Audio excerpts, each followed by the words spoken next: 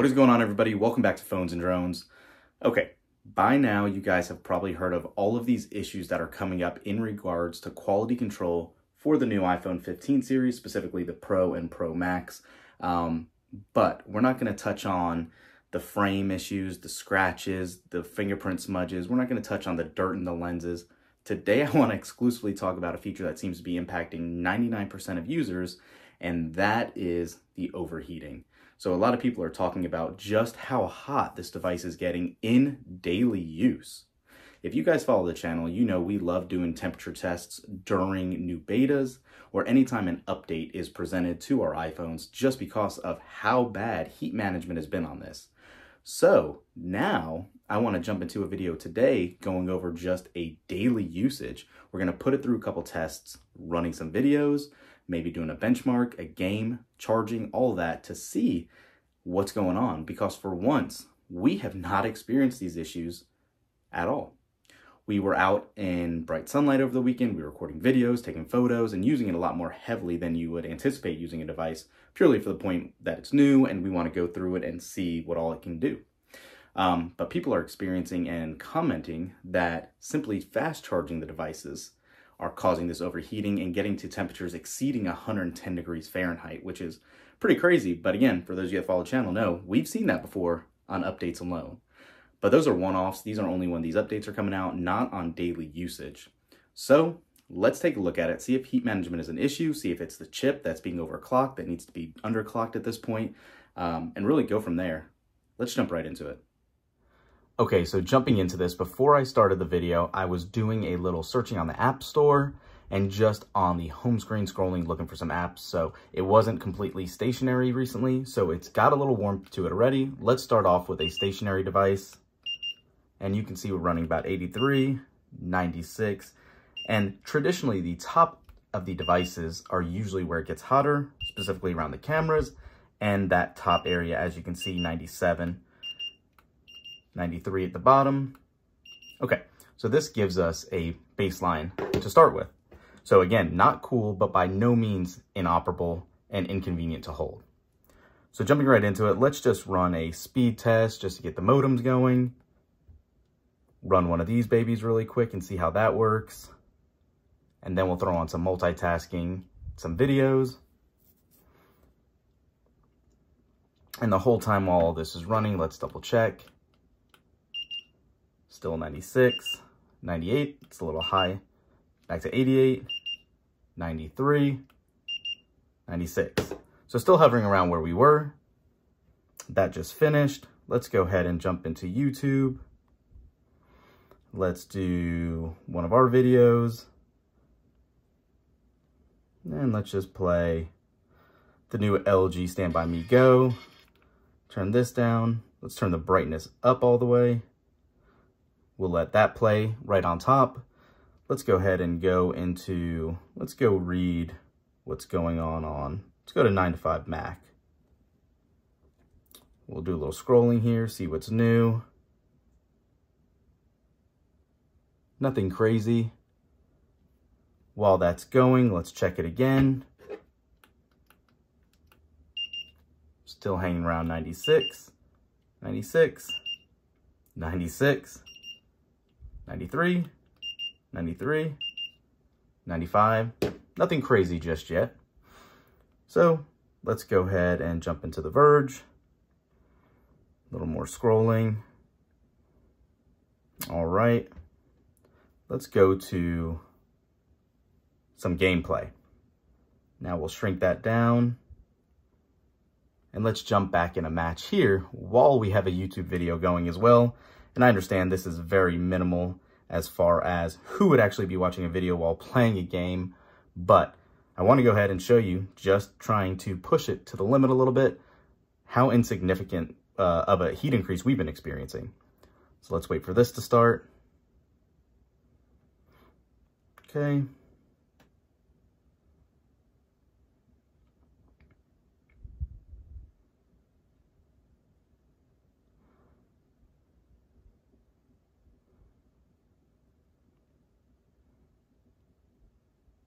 There we go.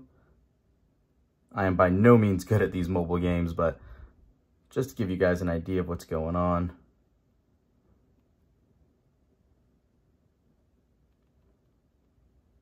Keep going.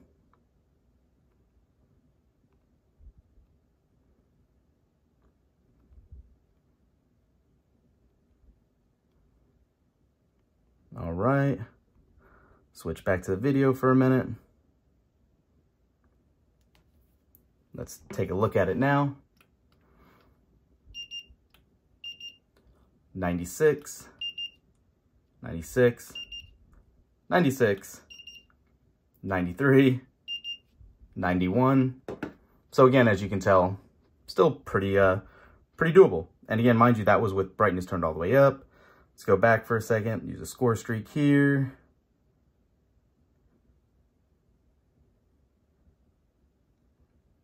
All right.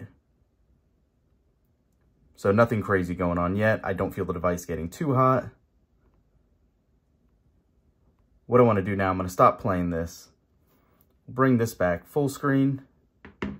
And what I'm going to do is I'm going to go ahead and get a charger and plug it in for a few minutes. All right, so the video's still been playing. I went and got our cable if you missed our other video talking about good accessories for the new iPhone 15 series. This is one of the power deliver USB-C cables, good for over USB-C, um, with that little meter on the side so you can actually see how fast it's charging. Again, mind you, we're only at 89% here, so nothing crazy. You're not to get any fast charging going on, uh, which Apple is known to do from 80 to 100, really kind of slow down the charging speed to preserve battery life. So yeah, We'll leave this plugged in and running. Still got the game, or excuse me, the video running, gaming in the background.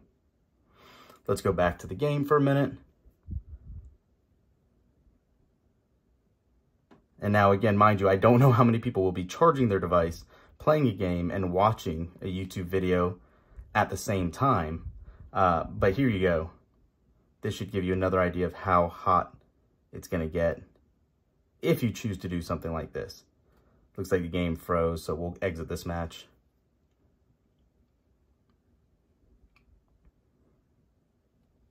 Let's go ahead and get out of this for a minute then. Quickly check. Just another heat test. 87.4. There we go. 98.6. 95.5. 96. 93. 89. Okay. Let's go ahead and go into some social media. So this I could see people doing. Watching some social media while watching a video. Do a little scrolling. So, get out of that. Go into TikTok if you want for a minute. Scrolling, scrolling. Okay. Jump into Instagram if you want.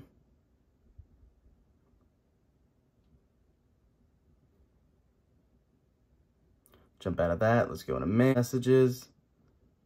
The whole regular song and dance. The pointlessly opening 10 different apps at once to see. Let's open up Netflix. Jags. So yeah. Okay. It's only pulling in 9 watts right now. Let's see what we're going to get for the last test. 83, 94, 98, 98, and 98. So last thing I'll do is I'll pull up the camera, let the video just run for a second. Obviously, this is going to turn off, uh, or I should say pause the video that we have going in the back hence this baby right here. But go ahead and record something really quick. You guys can see the background here. Run this for about 30 seconds. And while this records, I just want to call out, as you can see, I'm sure there are some overheating issues, but as you can tell, this is not for every device.